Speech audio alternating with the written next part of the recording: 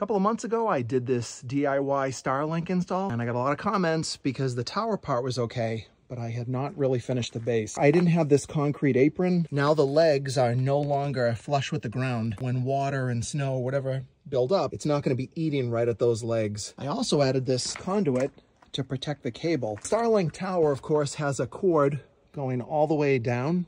It runs into this sort of elbow this is just duct seal. It's kind of like a putty. It stays flexible, keeps the mice out too. Runs through the conduit into the house. This way you've got much more protection than I had before. Final piece, good old Flex Seal sprayed on this. This was my grounding clamp. You have to have bare metal, which means it's going to rust. Put the clamp in place, tightened everything up, sprayed Flex Seal all over it. Now it's basically watertight, but it's still got a good electrical connection underneath. Pretty happy with this. This was a fairly inexpensive install. I've got a tower that's braced along my house, and the antenna is way up there doing its job.